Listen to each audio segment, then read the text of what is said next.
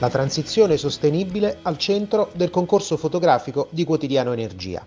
Il premio, giunto alla quinta edizione, è stato assegnato il 24 febbraio nel corso di un webinar che ha visto la partecipazione di vari esperti del settore energia e della comunicazione.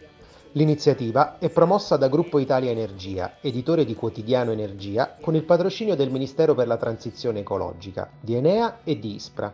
Sponsor sono stati Enel, ExxonMobil e Gruppo Era. Partner le agenzie fotogiornalistiche Contrasto e AGR Press, oltre al motore di ricerca di eventi politico-economici Take the Date. I lavori del webinar sono stati aperti da Camilla Calcioli, Business Development Manager di Gruppo Italia Energia e coordinati da Romina Maurizi, direttrice di Quotidiano Energia. Tra i relatori il presidente di Enea Gilberto Dialuce. Quindi la sfida di questo concorso è riuscire a rappresentare con un'immagine ferma eh, quello che è un concetto in movimento della transizione, soprattutto di renderlo in qualche modo eh, concreto, tangibile per tutto quello che può essere gli impatti sulla comunicazione. E lo scatto vincente è stato quello di Giovanni Noto dal titolo Alba sull'Etna vista dal borgo di Troina Secondo la descrizione data dallo stesso autore, la foto scelta dalla giuria raffigura l'energia nelle varie forme, geotermica, cinetica, solare.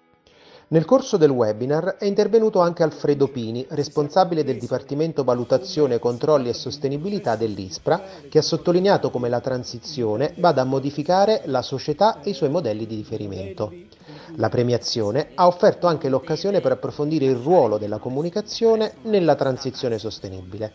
Su questo sono intervenuti Cecilia Ferranti, responsabile comunicazione Italia di Enel, Marco Falcone, direttore relazioni esterne e istituzionali di Esso Italiana, Cecilia Bondioli, responsabile rapporti con i media ed editoria di Gruppo Era, Cristina Corazza, responsabile relazioni e comunicazione di Enea.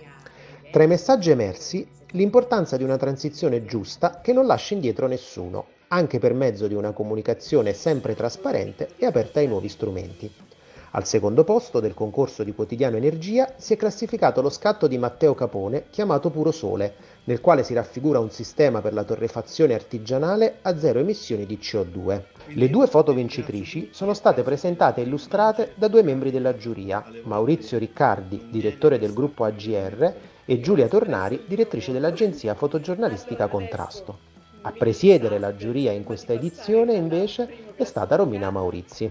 Allora io vi ringrazio tutti, ringrazio le, le istituzioni patrocinanti, gli sponsor, i preziosi partner, eh, Gruppo Italia Energia, il nostro editore e i miei colleghi. Vi do appuntamento alla prossima edizione, speriamo di non doverla dedicare al caro energia che speriamo che ci siano altre priorità, magari divisive, magari difficili da raccontare, però che, che ci possono dare un, uno sguardo positivo in avanti. Grazie a tutti e alla prossima edizione.